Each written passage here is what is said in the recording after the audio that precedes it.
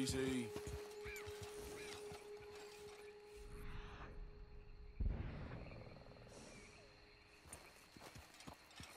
Yep.